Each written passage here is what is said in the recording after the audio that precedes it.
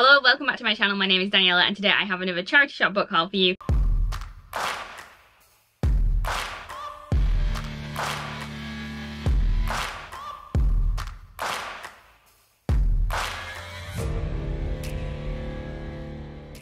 Today I have mainly fiction, but there's also a couple other genres in there which I'm going to start with.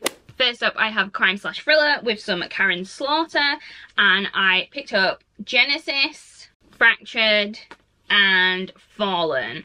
I'm pretty sure these are all part of a series. Hopefully this fills in some of that collection. I really need to update my Goodreads because I have not been tracking what I've been picking up. Next, I have a couple of indie romance books that I picked up. These are by Olivia Dade, who is an author that Illumicrate have worked with a couple of times, but these look like they were indie books probably before she got picked up by a publisher. So I have Sweetest in the Gale, which is a collection of short stories, and Teach Me, which is a romance between two school teachers. I could not resist the covers of these. The covers are so cute especially this one, the way that they've done the lighting coming through the trees. Okay, I think the rest of these are either fiction or non-fiction. So we'll start off with the classic. I picked up Northanger Abbey by Jane Austen. I recently read a graphic novel that was based off of this or heavily inspired by this novel and I really enjoyed the graphic novel and finding out that it was inspired by this made me really want to read this book. Next up I think this is a non-fiction and it's the 57 bus. I saw someone mention this on a YouTube video and within a week of watching that video I found it in the charity shop. All I know about this book is that it is based on a real event that happened and it is something to do with two teenagers on a bus and one of them sets the other on fire because of what they're wearing. That's all I know about it, but it's based on something that actually happened, so I'm really interested to read it. The back of the book says, if it weren't for the 57 bus, Richard and Sasha would never have met. What happens next is a story of race and discrimination, but also of recovery, reconciliation, and hope. It's about the good and bad in all of us and how your whole life can change in the time it takes to flick a cigarette lighter. And remarkably, it's all true. I'm getting goosebumps and feeling emotional just reading the back of this book, so I know this is going to be a hard read for me and I'm probably going to cry. Next up, I think this is another non-fiction. It is Everything I Know About Love by Dolly Alderton. I'm pretty sure these books are memoirs based on her own experiences. I'm not 100% sure though, so don't quote me on that. All I've seen is good things about this. I'm really interested to try this one. Next, I picked up a physical copy of We Were Liars by E. Lockhart. I don't really know anything about this one. I just know that it's one of those popular books that has been talked about a lot. The back of it says, We are liars, we are beautiful and privileged, we are cracked and broken. A tale of love and romance, a tale of tragedy. Which are lies, which is the truth? You decide. Next, I picked this one up. It just caught my eye and it just sounded interesting to me when I read the back of it. Never heard of it before, and that is Bearmouth by Liz Hyder. The back of the book says it only takes one person to start a revolution. But it's spelt really weird, I've just noticed that. Anyway, it says life in Beartown is one of hard labour, the sunlit world above the mine a distant memory. Reward will come in the next life with the benevolence of the Maker. Newt accepts everything, that is, until the mysterious Devlin arrives. Suddenly Newt starts to look at Bearmouth with a fresh perspective, questioning the system and setting in motion a chain of events that could destroy their entire world. In this powerful and brilliantly original debut novel, friendship creates strength, courage is hard won, and hope is the path to freedom. This is so vague. I don't know if this is a fantasy book or if it's contemporary. It's not clear from the synopsis, so I'm very intrigued by this. Next, I picked up Heatwave by Victor Jestin. This is one of those books that was promoted a lot in Waterstones, I think last year? It's really, really short. It's tiny, in fact, at just about 100 pages. And the back of it says, 17-year-old Leonard is on a camping holiday with his family in the south of France. On the final Friday of the trip, unable to sleep, Leonard goes for a walk and sees one of the boys from the campsite, Oscar, hanging from the rope of a playground swing. Leonard watches as the rope slowly strangles Oscar. Then, unable to think straight, he buries the body in the sand and returns to his tent. The next... this is the first time I've read the back of this book, by the way. I just picked it up because I recognised it. The next day is the hottest in 17 years. Disoriented by the oppressive heat and distracted by his desire for a girl named Luce, Leonard spends the ensuing hours trying not to unravel. This sounds insane, but so interesting and it's really short. This might have to be picked up very, very soon. I can't believe I picked that book up without reading the back.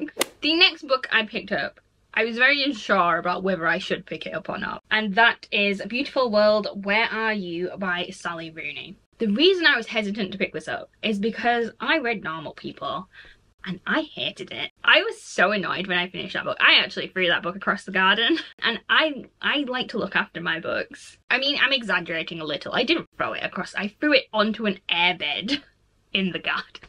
But still, I threw the book.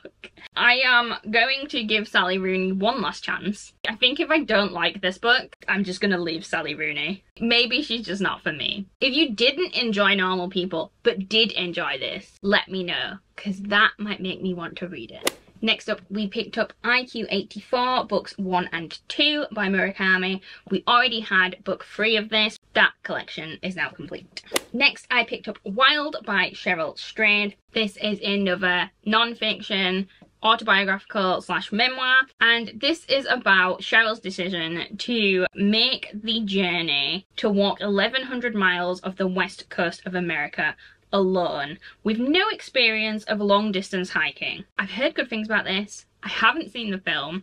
Happy to read the book first and then watch the film, especially because I love Reese Witherspoon. Next I picked up Speak by Laurie Halse Anderson. I'm pretty sure this one is about sexual assault. That's all I know. I've been aware of it for a while. There is a graphic novel version as well, but I picked up the novel. Next, we have another Haruki Murakami book and it is the Wind Up Bird Chronicle. I love the cover on this one. I think it has some under the dust jacket as well. I don't know anything about this. I tried to just read the synopsis and I still can't tell you anything about it. I think this is just going to have to be one of these that I try to read and if I don't get on with it, I don't get on with it. I picked up Winnie the Pooh by A.A. Milne and I managed to get this really cute edition and it's got the full colour map in and it has the colour illustrations in.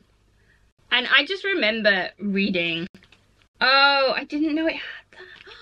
It has this under the dust jacket as well printed directly on the book. It's so cute. I just really wanted to read Winnie the Pooh because I've seen like quotes for it online and I know that we used to have a big like collector's edition book of it when I was younger. I just really, I just want to revisit my childhood and read Winnie the Pooh.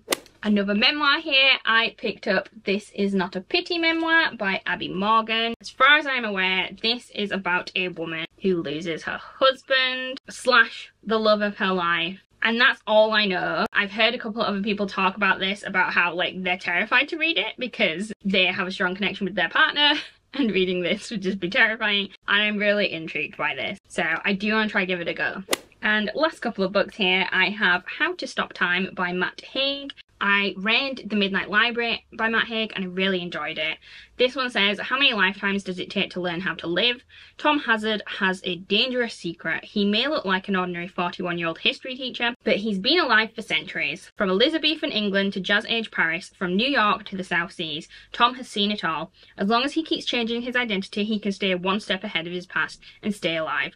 The only thing he must not do is fall in love. So we can guess what's gonna happen.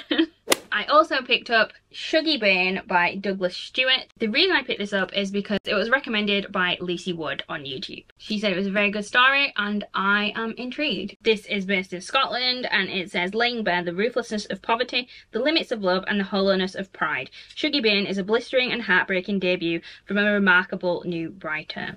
And lastly, I picked up Crossfire by Malorie Blackman, which I think is the only one I needed to complete the series. That is everything I have for today. Did you find any books that you were interested in? Anything new that you hadn't heard of that you think you might want to try? Let me know in the comments. And if you've read any of them, let me know what you thought of them. But no spoilers, please.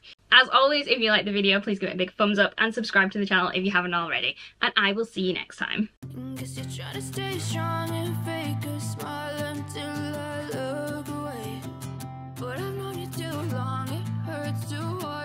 Blue eyes fade to gray as you fade away.